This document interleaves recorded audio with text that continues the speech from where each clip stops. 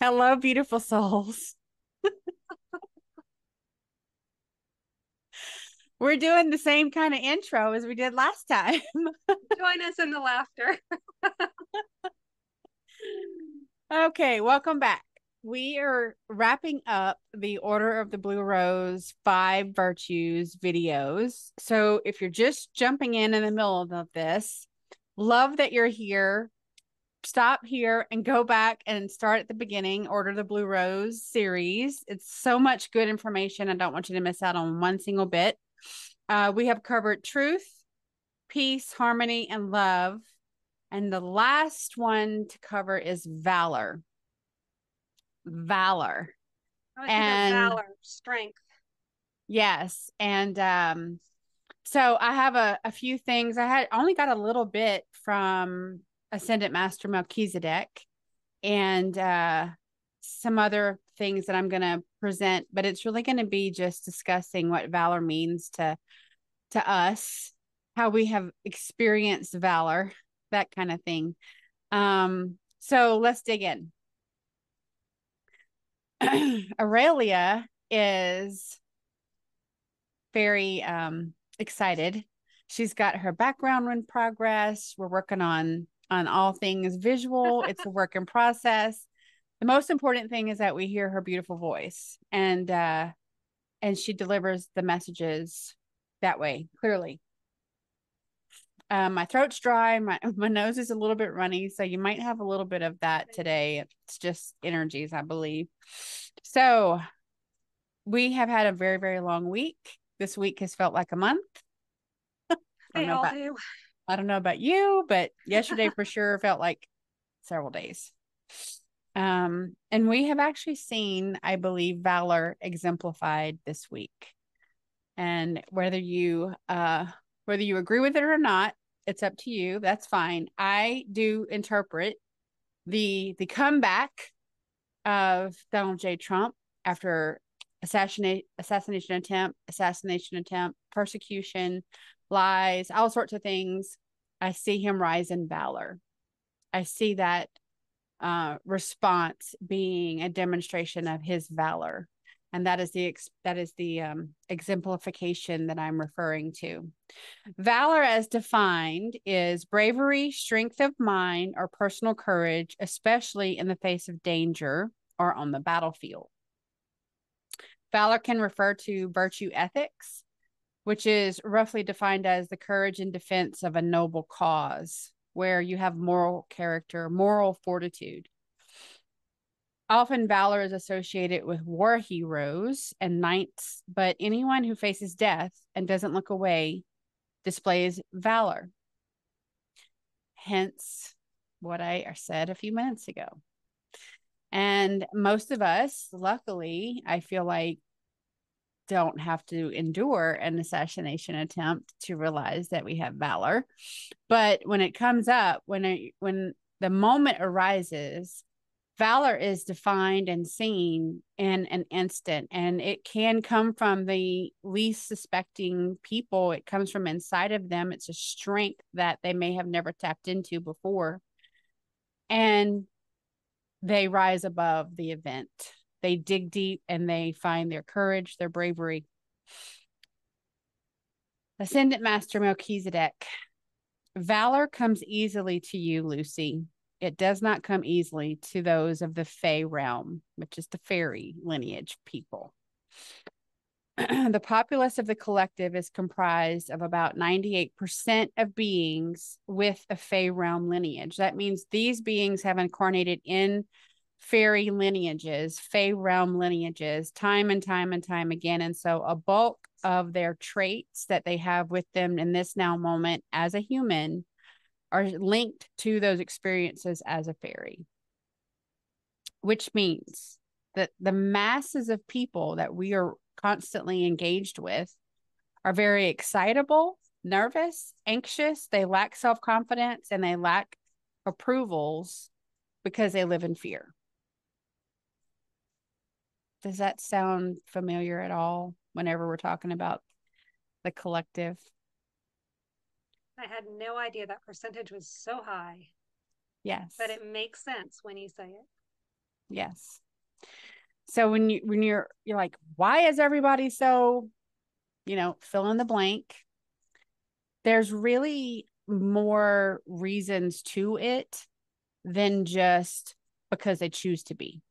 Like I, I have encountered so many beings that exhibit some of these traits and they don't want to. It's it is a pill for them. They want to escape this, but it is a part of their being. It's a part of who they are. And they're able to get clear with a QET session and start to get on top of some of these things, but they're still there. These are these are soul essence characteristic traits that you're not going to get rid of, but you have to actually deal with. You have to deal with the shadow work involved with the events that cultivate it feeling this way to then learn how to take your power back not be nervous pervis not always be looking over your shoulder have faith and confidence in yourself. So that just takes shadow work. But the traits themselves don't disappear. They're still a part of these of these people. As a characteristic trait. They're not going to face fear or enemies head on. And we see that a lot. That's why so many people get bowled over by stronger energy personalities so there's been a small percentage of people leading the battle. And I'm one of them. And to exemplify the other part of the percentage, you have Aurelia, who is some fairy, but she's pretty much on top of most of those traits. But she's also squarely in the love and peace category. So the same event can occur to both of us. And my first knee jerk reaction is to go into battle. And her first knee jerk reaction is to what? Not go into battle. it's to immediately say, how can we approach this in a compassionate way or in a balanced way? If I have to pick up a weapon, I will, but that's my final decision. Yeah, that's or her last last, last resort. And so I've learned, I've learned over time that the sword and the shield are not always needed first.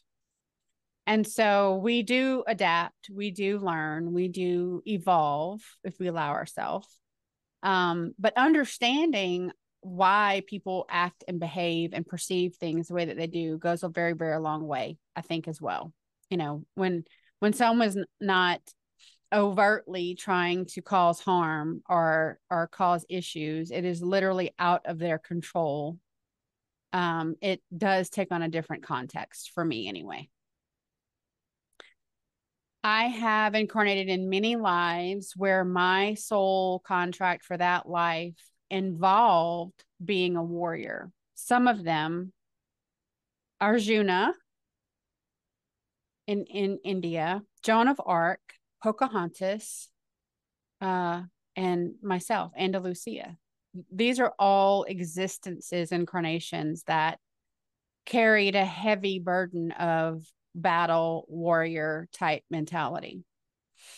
And the majority of our current population doesn't recognize that at all. Like they don't resonate with that type of of response anyway. So this is a big piece of the puzzle. So, how does valor rise up? How does valor show itself in a populace of people that are mostly distanced from anything that looks like valor? Do you have anything on that, Aurelia? One thing you were talking about with going into battle mode, I was thinking, I notice a lot of people say it's either black or it's white you know there's there's no middle ground and i struggled with that i still do but i've noticed that for me yes there are some definite lines but i tend to see a lot of the gray area mm-hmm. i can mm-hmm. see so much well so and so may have done this because and that may have brought this perspective and so balancing and as opposed to battling initially because where a lot of people tend to show their valor You know, yeah. valor doesn't always have to be loud and in your face. It can be very quiet. It can be gentle. It can be the commitment to perform everything with integrity and right. with truth, regardless of the situation, regardless right. of the outcome, regardless of other people's reactions. That's one yeah. of the notes that came through earlier about valor is does it have to be in your face? No, it can be soft and quiet. It doesn't have to be bold. It can be, yeah. and sometimes it needs to be. Mm-hmm. I think there's a certain level of resolve in those exhibiting valor, and that it's the commitment to discover the truth, the commitment to um, discern which side, if there is a side, that needs to be given attention to. And and I was raised by my earthly parents. They believed in and things are only black and white. There are no shades of gray. And I pretty much got in trouble all my life because I lived in the shades of gray. Mm-hmm. You know, there are because, lots of grays and they're pretty. Yeah. And it it's not a rubber stamp scenario. You know, we are multidimensional beings. We we volunteer to come here to have a earthly experience and some people have a really wonderful time. I don't know who they are, but I guess they do.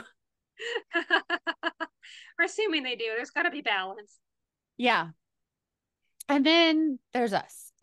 well, we have a good time. It just may not always look like it. Yeah. Yeah. And so but there's been always been a resolve. There's always been a resolve. The more that we learn and discover about our own lineage, our own soul lineage, our family lineage, and how far back it's gone, that we it's part of our family trait that we advocate for the light.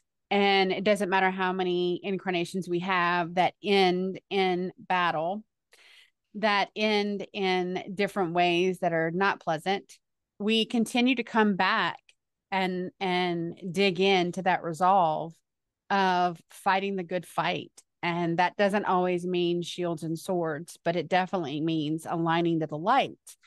And so um it, it, that could be your moment of valor. If you've always sat back and not really taken a stand if you've if you've just been one to go along to get along i do ask you how has that worked out for you because the planet, the the culture that we live in is polarized.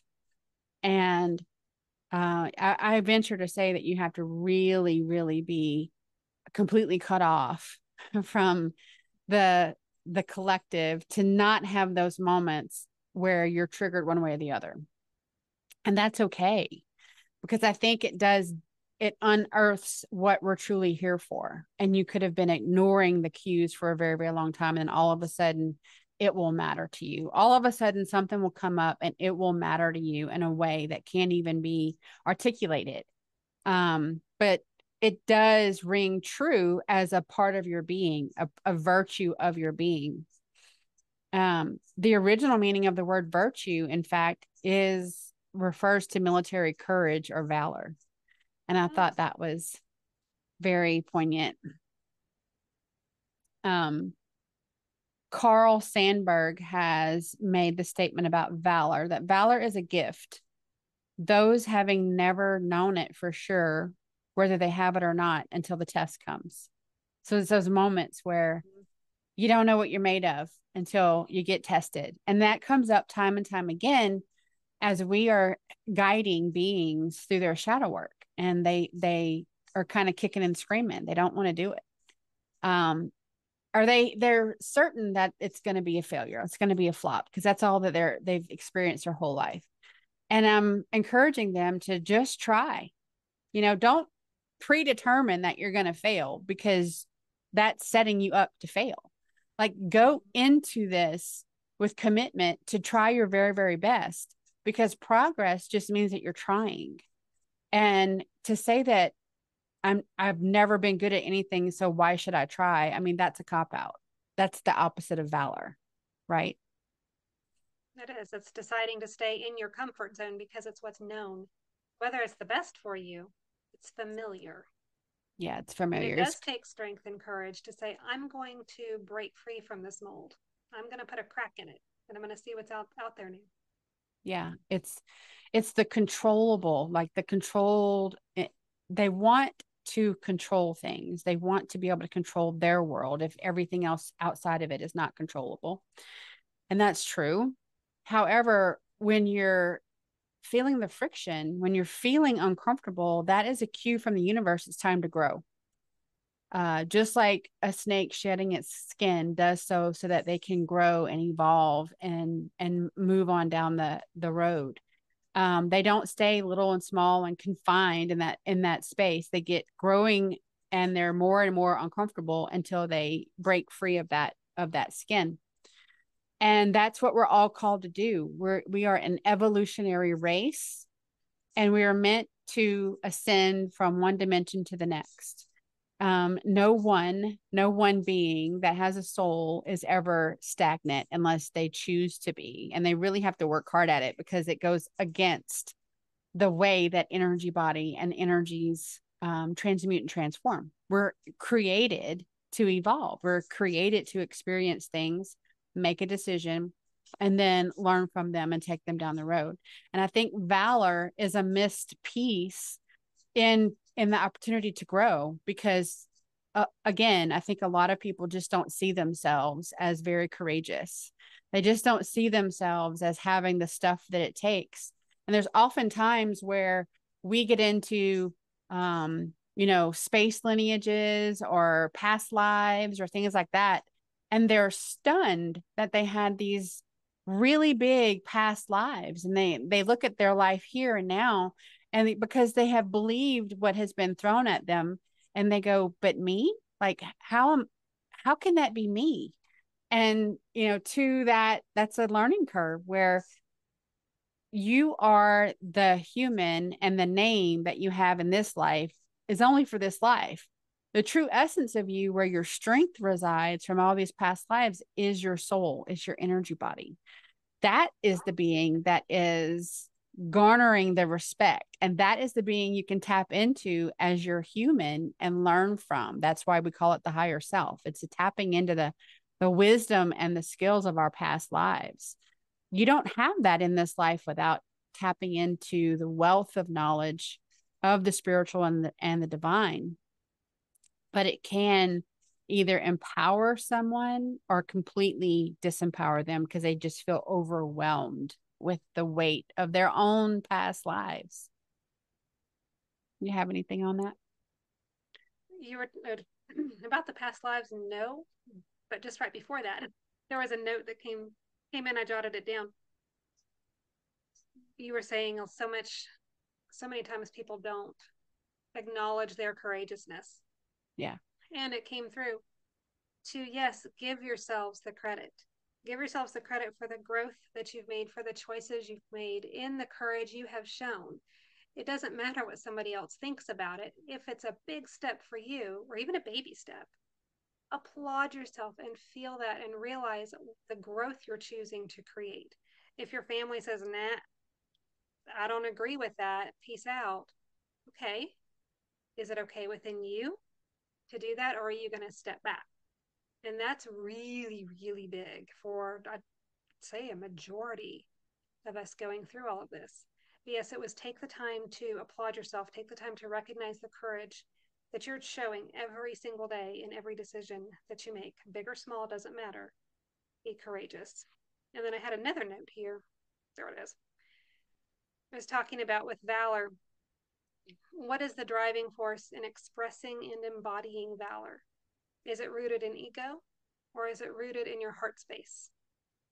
I think that's the difference for where people go. Are they choosing to be courageous and valiant for accolades from around? For the right reasons. Or yeah. are they doing that for themselves?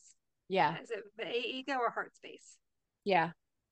Through my this life, a lot of people, because my soul contract presented opportunities at, at a young age to grow.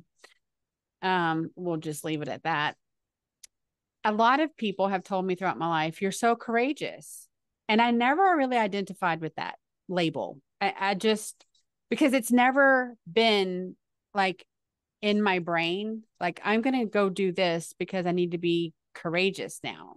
You know, like it's not a thought process for me. It was always just, well, and, and I've told people before, like, I always felt like there was a very big hand behind my back supporting me, but also guiding me. And I do what I do in the moment. It's not um, it's not really a cognizant choice. Like I'm just following energy. Like it's just always been when I made those decisions and did what I did, I did them because it was the only thing that I knew to do. And I knew I was being guided, but I also had faith in my guidance because in the moment, I didn't know what to do. And I asked for assistance from God and then was kind of propelled forward. And I just went.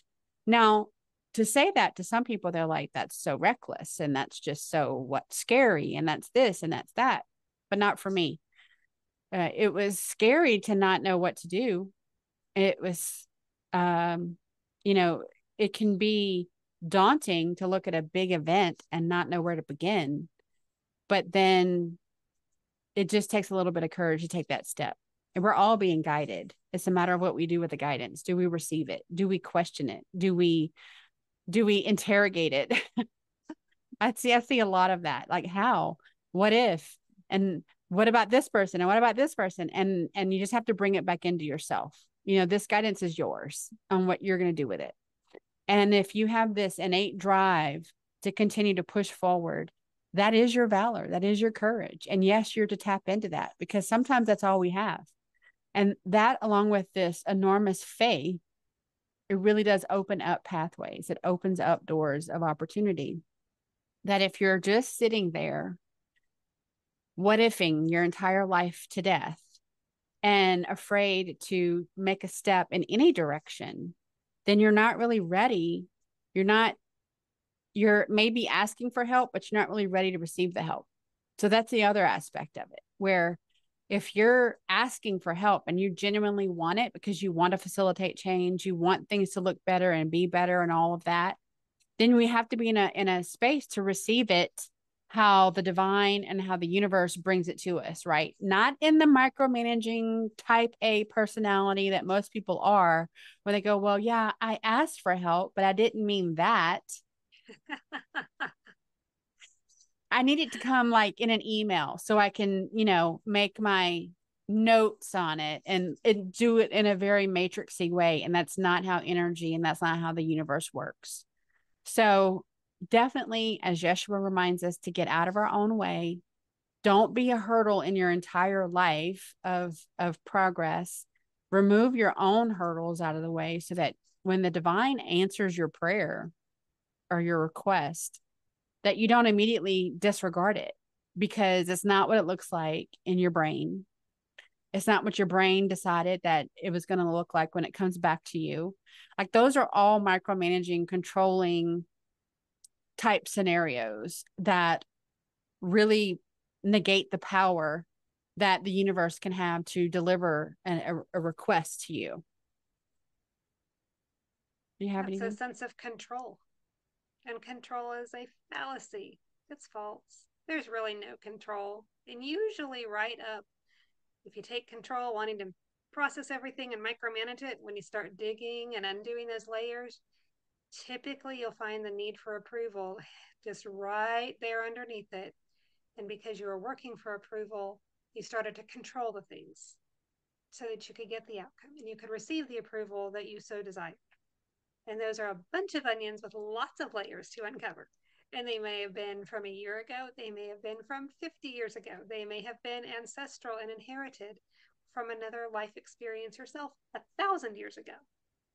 Whatever it may be, Uh, undoing that control, that desire, the micromanaging, you know, and allowing some flow because if you don't have the flow and the space for it, the universe is going to say, okay, yes, but hands off, there's nowhere to put it. Yeah. Then choosing to undo all of that, even little by little, is very courageous because it doesn't look like how you thought it would. and it won't feel like how you thought it would, but it is going to be better. You just have to choose to stay in that not as comfortable space to allow yeah. that change to occur and then recognize yourself for doing it. Yeah. A year ago, I would have handled the situation XYZ. And now look at what I'm doing and how I'm doing it. You know, pat myself on the back. I love myself and where I have come. It's not egotistical. I'm not saying, oh, check me out. I'm the most awesome thing ever, even though it's true. Right. Right. I knew you were going to say that. Just because I could. it's true though, and I've seen it demonstrated time and time again where um the the window of opportunity for the universe is super small because the being requesting, you know, they have this big awesome request for universe and the universe is just gearing up to deliver it to them and then they go but it needs to come between the hours of three and four on a wednesday when the sun is at you know yeah. And the the universe goes yeah they're not ready to receive my gifts.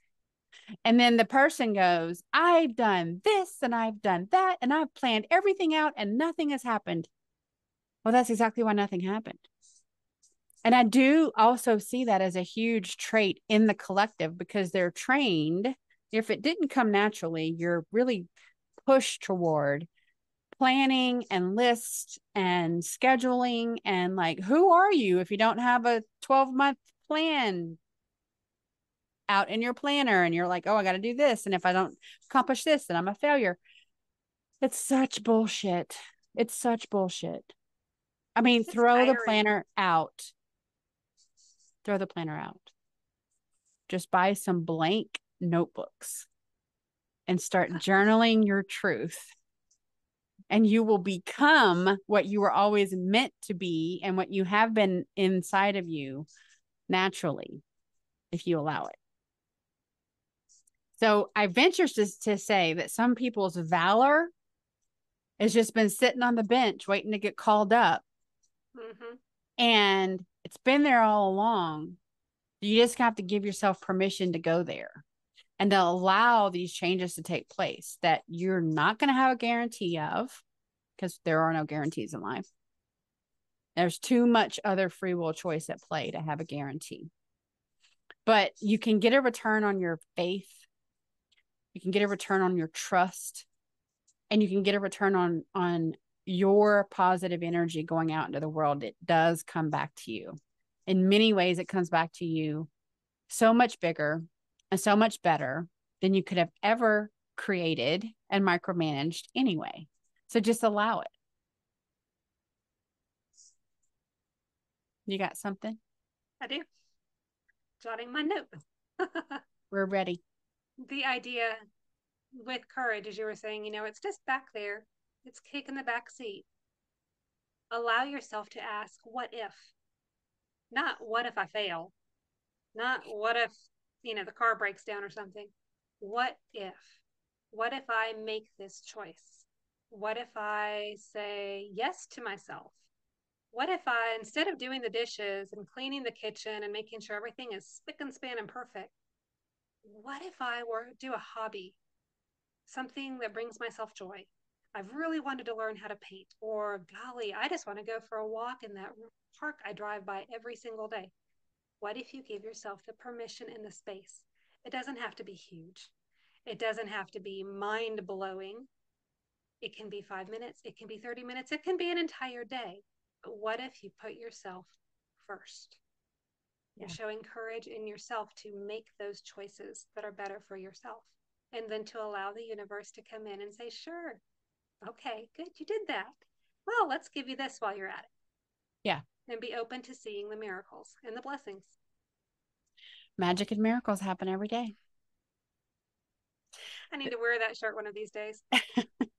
we see a lot of um a lot of beings that come through getting clear and they they start to take their inventory, you know, of their vortex and the vortex is basically the the energy bodies that you have invited in or have invited themselves in and you allowed them to stay and some of the time it's your earthly family sometimes it's work family sometimes it's extended family or people in the community that you engage with. But when you dig into who and what you have invited around your your vortex, the second piece of that is accepting that it's going to change because knowledge of who and what you're dealing with presents an opportunity to make a better choice, to make a free will choice that is in the highest and best for you, for your timeline. And it will not be in the highest and best of other people's because we're not talking about them. We're talking about you. And sometimes the challenge is that the bulk of the people that have really been sucking your energy out of you and you damn well know it, you figure out now who they are. And now you have a choice. Are you going to continue to allow this cord of energy to get just fill them up all the time and leave you depleted?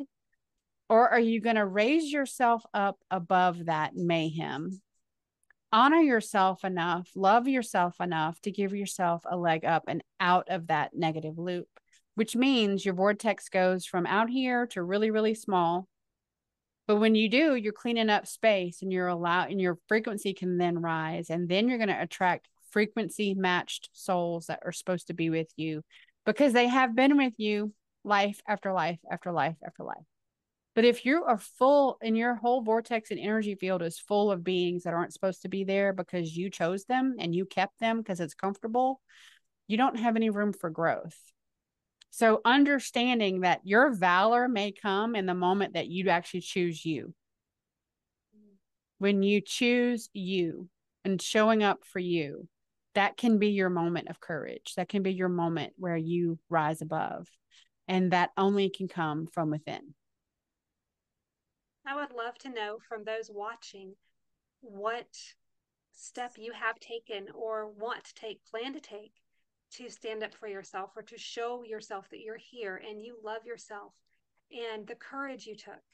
Whether, like I said, whether it's a small baby step for yourself or whether it's something huge, I'd love to read about it. If anybody wants too. to share, please do comment. Because as you said there, boundaries. It takes courage to set up boundaries. And by choosing to enforce those boundaries, you're showing up for yourself and you're making those choices. Yeah. No one comes to those decisions easily, you know. No. But it's necessary. It's absolutely necessary. And we are actually rewarded whenever we protect our energy, take our power back, and act in a sovereign way with integrity. That's when we're rewarded none of us are rewarded for allowing ourselves to just be spread so thin across all different platforms work home social that there's nothing left for you you don't get rewarded from the divine for that because that's not sovereignty and that's not healthy that's not what that's not what we're here for that's what the the narrative likes to tell you so they can keep pulling your energy from you and keep you weak and keep you shredded but that's not really what we're here for so, yes, if you have tackled this or you want to tackle this, comment. I would love to engage with you. Um, do you have anything else to wrap this up on valor?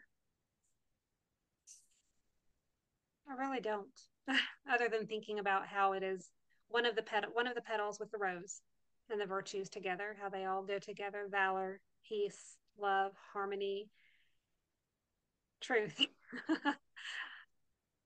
how they all interact and when you show step up with valor with courage you're standing in your truth you're yeah. loving yourself. You're providing yourself elements of peace thereby leading into more harmonious experiences in your life. As a quick example. That's perfect. That's perfect. And they definitely all lean on each other feed or fed from each other. Without one of those five virtues, you really do fall short of the full picture. And the strength that we all can possess within us to then open up so much expansive beauty that we haven't even thought about yet. And I and people like to say, "Well, I can't wrap my brain around that." My response now is because it's not for your brain, it's for your heart. Your heart can open up and take in so much more of the yumminess of life than our brain. Our brain yumminess. is just I love that. Yeah.